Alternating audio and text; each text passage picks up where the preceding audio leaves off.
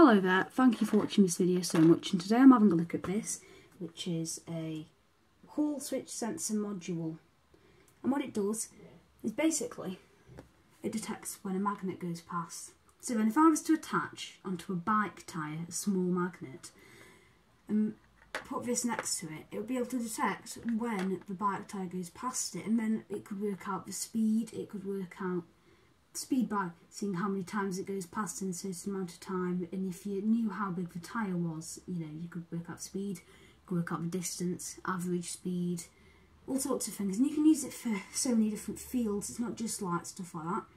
Um, you could use it for speedometer of course as I've just said, but loads of other things. And you can pick this up from icstation.com at the very small price of £3, $3.10. That's a very good price for something so good. And just very quickly then, going to say some of the features about it. It's got an onboard LM393 voltage comparator chip and Hall sensing probe.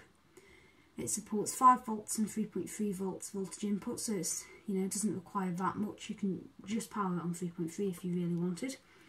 Uh, the onboard signal output is very effective instruction low level, and at the same time, the output signal lights out can be very sorry can be directly in single chip microcomputer I/O connection. The signal detection sensitivity can adjust and the board size is 30mm by 15mm so it's really small as well. I said before that it can adjust, if you just have a look here it's got some sort of screw. I think this is where you adjust it. You just, I'm just going to get my fingernail and do it but it's probably better if you use a screwdriver if you don't want to ruin your nails. Okay, so overall I think this is a great, great, great thing to have if you're an electronics hobbyist.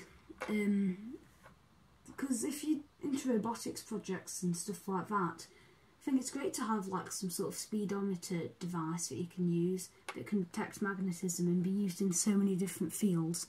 And at the very small price of $3.10, I mean, it's just a great thing to have if you're an electronics hobbyist and you're into robotics and all of that stuff.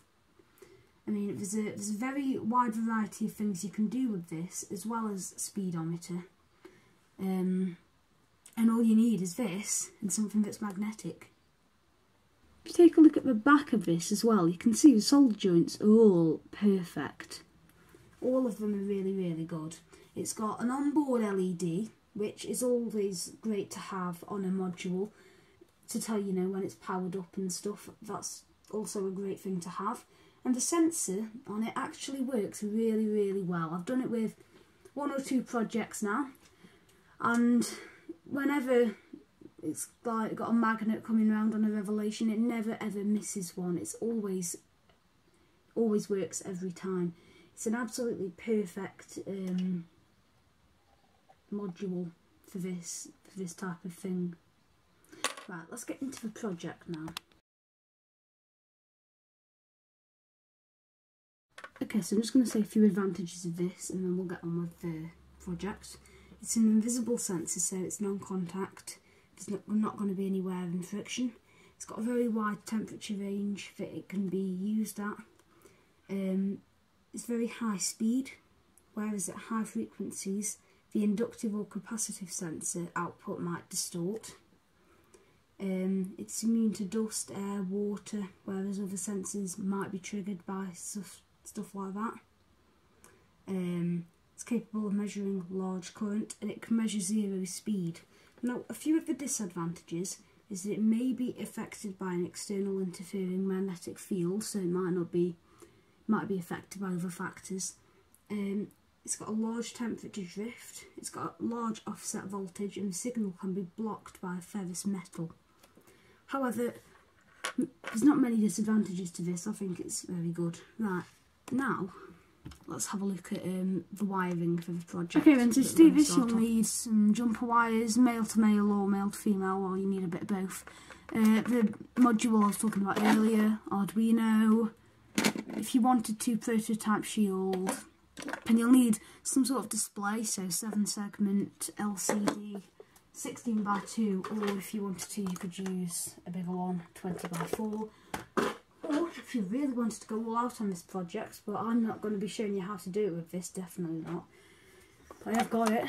a smartphone screen style thing, TFT LCD shield with SD card reader.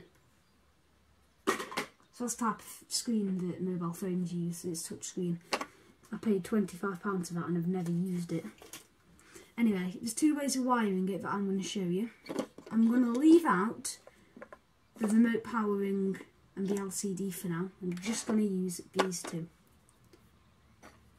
First way of doing it, which is the easier, is just to put three female pins on the end of the male ones on the end of this module and then, if you have a look carefully, I'll take the wires off for a second, but if you look carefully, you can actually see where it says ground, out, and VCC.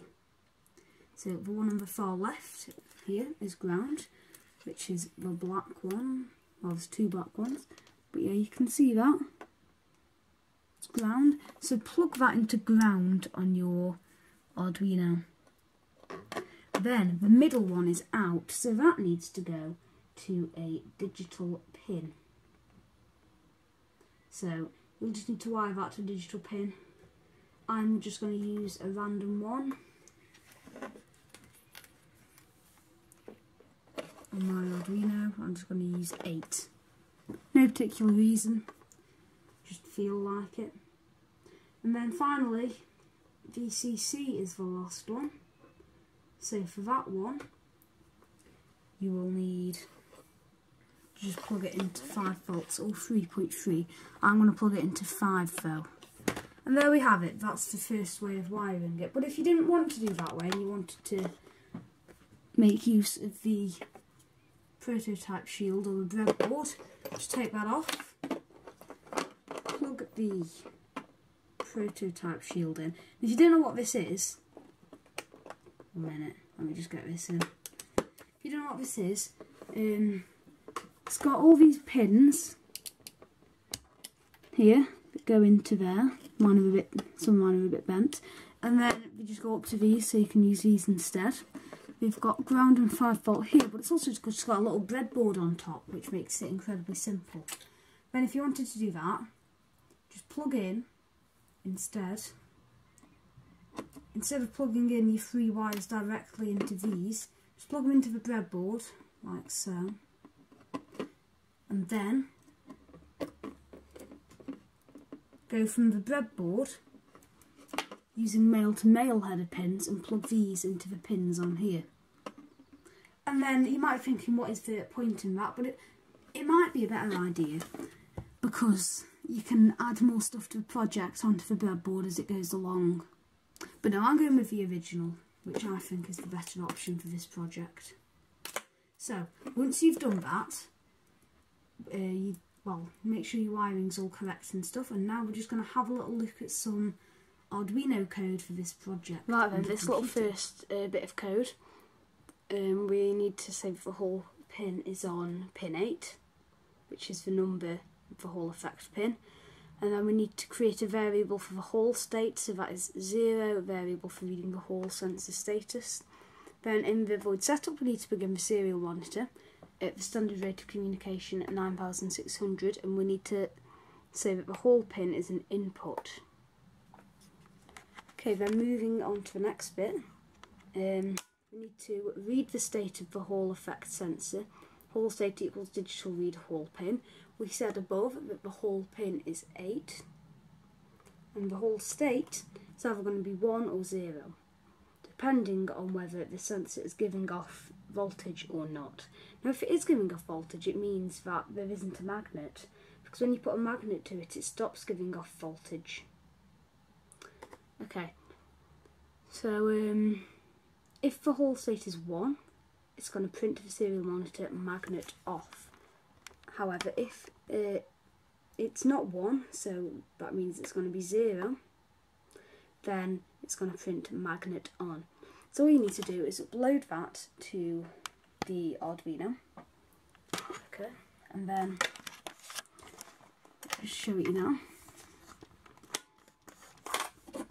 When I put a magnet to it, well when I don't put a magnet to it, it doesn't say anything. However, it says magnet off. However, if I put this magnet to it, like that, now that there is a magnet I've got off my bike, off the bike speedometer. If I go to it now, I made a slight error the code, so I didn't do print line, but it says there, magnet on. Okay, if I was to take it away, it'd say magnet off. The only error I made there, why it's not going on separate lines, is originally when I uploaded it, uh, I put here, need, that definitely needs to be print line and not just print, because print will just do it one after the other instead of doing a separate line. But anyway, yeah, that is it for this little bit of, um, this little tutorial on how to use the sensor. However, I'm going to do something a bit more complicated now, and it's going to involve spinning my bike tyre around with this magnet attached and working out how many revolutions it's done.